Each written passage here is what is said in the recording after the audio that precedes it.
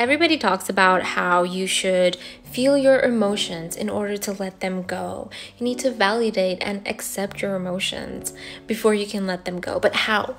How do you do it? Well, this is why I'm here. I'm going to teach you how to actually feel and let go of any emotion. First thing that we need to do is detach ourselves from the feeling. We are not angry, we are feeling angry. We are not frustrated, we are feeling frustrated.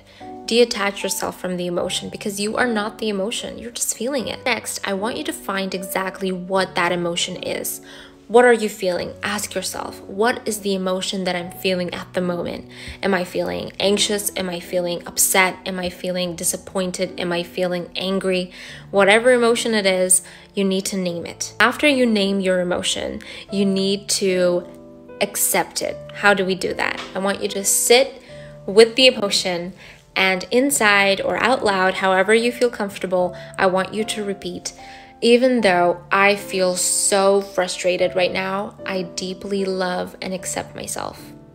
Even though I feel so angry right now, I deeply love and honor myself. Now, the next step is to validate these emotions. Tell yourself reasons why it is natural for you to feel frustrated or angry or whatever the emotion is that you're feeling. Find reasons to why you should feel that way of course it's normal for me to feel so angry because he did that and he did this or i feel so frustrated because of that because of this and it's natural and it's okay validate. After you validate the emotion i want you to find a different emotion that you would want to feel instead. What do you want to feel instead? Do you want to feel neutral? Do you want to feel calm? Do you want to feel at peace? Do you want to feel love? What do you want to feel?